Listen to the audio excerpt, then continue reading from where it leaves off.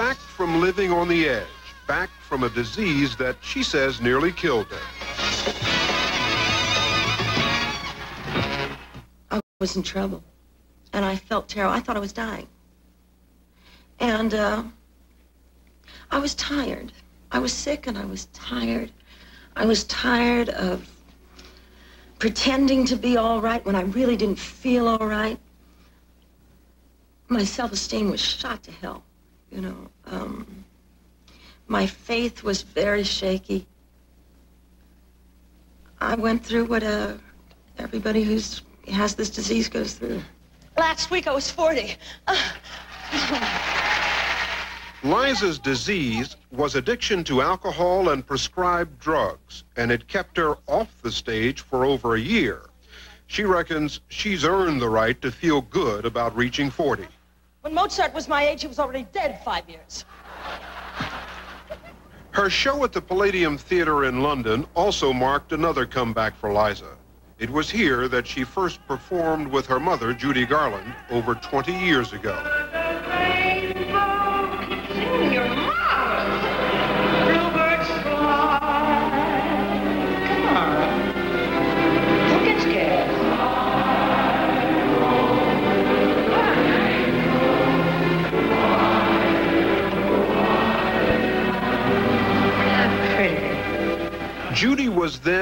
Then age Liza is now, and her own addiction to alcohol and drugs was taking its toll. She hoped that by sharing the stage with her 18-year-old daughter, the audience would treat her performance more kindly. If happy little bluebirds fly. I grew up around watching a lady who took pills and swore on my life that I would never take a pill. Swore. And didn't realize I was doing it until I suddenly had that rev. I suddenly thought, wait a minute, what am I doing? What am I doing? Liza was the daughter of Judy's brief marriage to film director Vincent Minnelli. Her childhood was spent in Hollywood, where there were good times and bad times. She was spoiled by her adoring father, but she also had to live with her mother's uncontrollable moods and frequent suicide attempts. At 16, Liza escaped to New York. Her ambition was to get a job on Broadway and to do it without help from her famous family. I didn't want to stand out. I was embarrassed. Um, I wanted to be in the chorus, basically. I wanted to be in a dressing room with a lot of other dancers. Uh, I didn't want the star dressing room with, with, with, isolation. It wasn't what I had in mind when I thought of the New York Theater. The New York Theater to me was, was working with other people, was doing something, was like all the movies I would watch on TV about everybody having a good time after the show. You, want, you, you know, want, you wanted to fit in. I wanted a family, and I wanted to fit in. But Liza didn't stay in the chorus long. In 1972, she played the lead in the movie Cabaret, the part of Sally Bowles, an outrageous nightclub singer in Berlin of the 30s. A tiger is a tiger, not a lamb, mein Herr. You'll never turn the vinegar to jam, mein Herr. People sometimes think of you as parts that you've played. It's like they, they expect you to be like Sally Bowles, for instance. Yeah. And so you are. Toodaloo. But she was more careless than I am, I think. You know, and more reckless than I am. But I, there have been times in my life when I've been, yes, a lot like that. Careless and reckless. Mm-hmm. Farewell, my liebe Herr. It was a fine affair, but now it's over. For her performance as Sally Bowles, Liza won the Academy Award. Yeah, you're better off without me. But even then, at the height of her success, there were rumors that she was drinking too much, taking too many pills. Liza now admits those rumors were true. Your brow, you should have known by now. You'd every cause to doubt me, mein Herr. I had taken Valium, which seems so uh, harmless, and it is the worst thing that you can possibly get addicted to. Uh, I'd been taking that for 15 years. To lose weight, I would take a diet pill. I took Placidyl to sleep. But mind you, these are all prescribed drugs.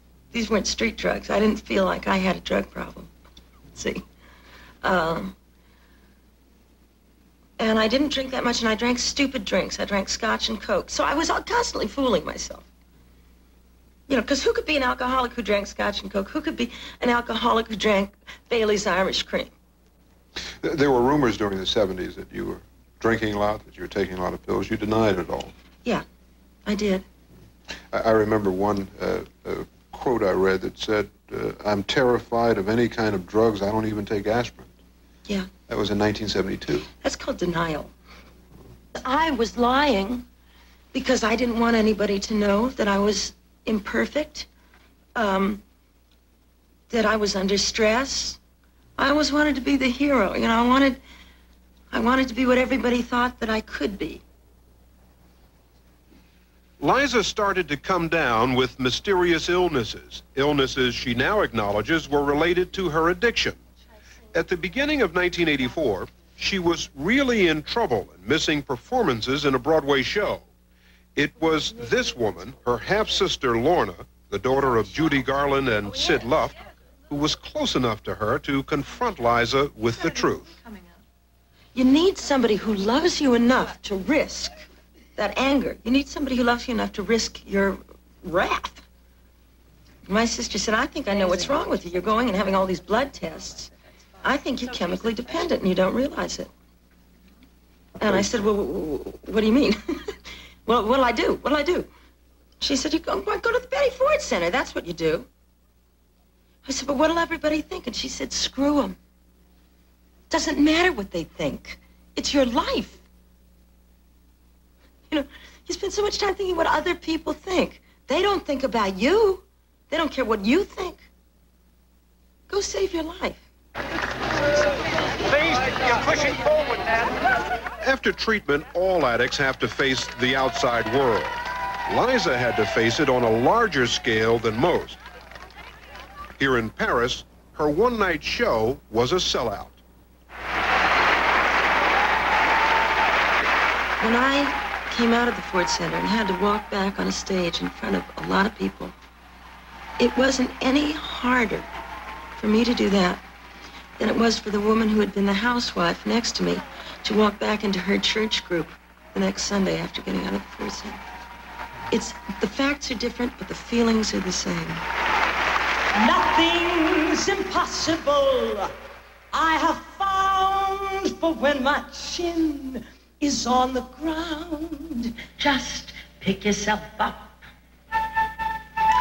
dust yourself off, and start all over again.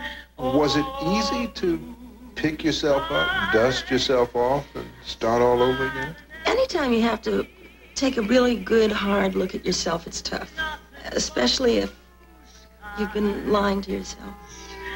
Do I see?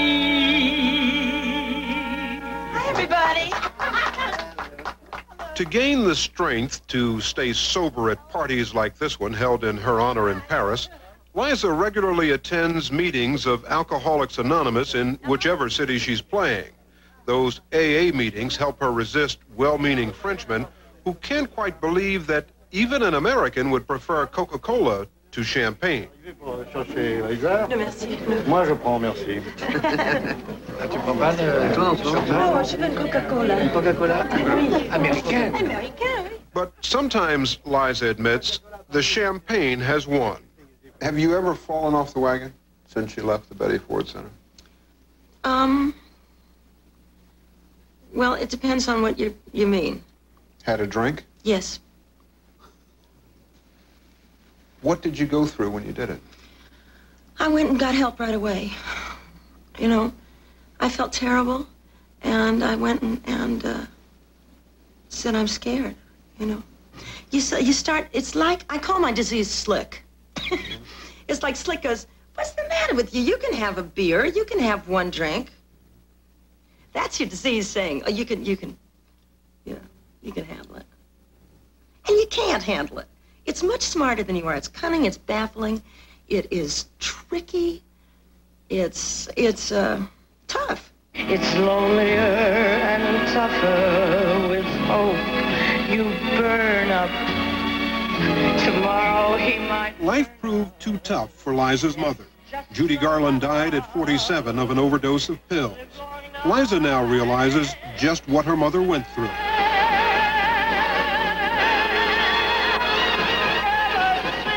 What I really understood more was how isolated she felt, because I had begun to feel that isolated.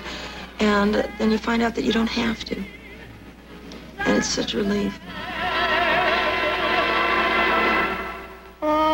One man woman looking for the man that God's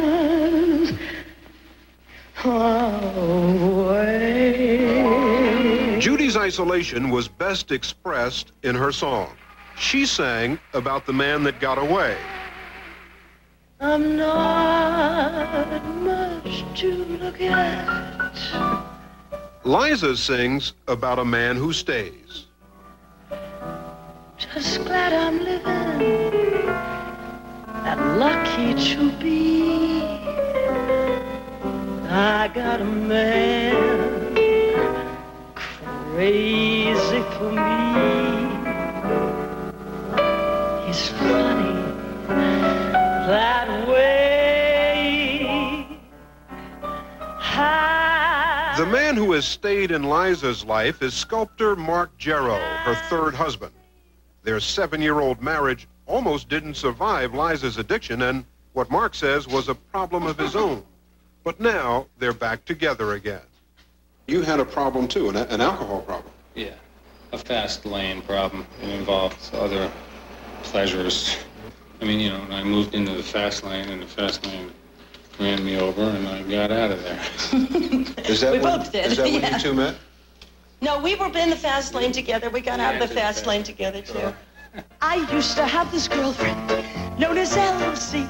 For her encore at the London Palladium, Liza sang the title song from the movie Cabaret, the song for which she's best remembered. It's about a friend of Sally Bowles named Elsie, who dies from drinking drugs. The day she died, the neighbors came to snicker. Well, that's what comes from too much pills and liquor. The song used to go like this.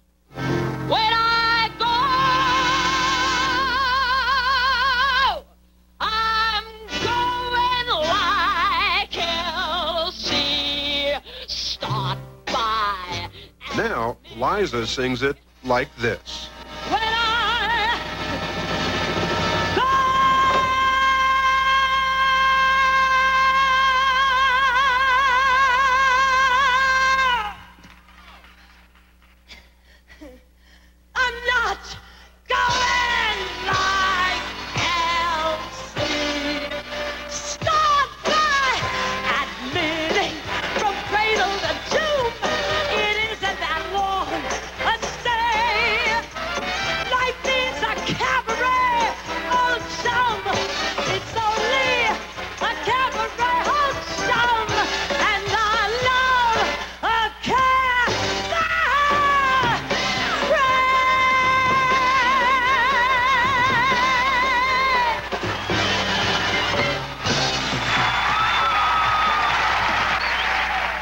You, have a line in your show. It's it's not how you start, It's how you finish. it's how you finish.